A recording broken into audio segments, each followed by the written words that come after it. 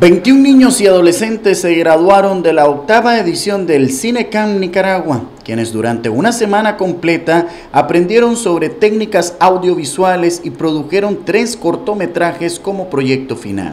Estamos impulsando a que los jóvenes y los adolescentes que tienen esa espinita eh, por la cinematografía puedan desarrollar esas diferentes aptitudes y habilidades que tienen eh, tanto para realizar un cortometraje, futuros guionistas, futuros productores, futuros técnicos, pueden ser también eh, sonidistas, entonces toda esa gama, todos esos roles los aprenden acá desde el Cinecamp en un primer acercamiento, esta es una primera mirada para ellos y definitivamente uno de los cursos que tiene más éxito en la Cinemateca Nacional. Los participantes del Cinecamp aprendieron desde la concepción de la idea, introducción en la cinematografía, realización del guion y el paso a paso de la producción y postproducción.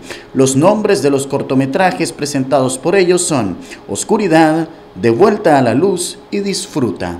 Aprendí a ser camarógrafa, directora de sonido, la craqueta y a presentarme pues.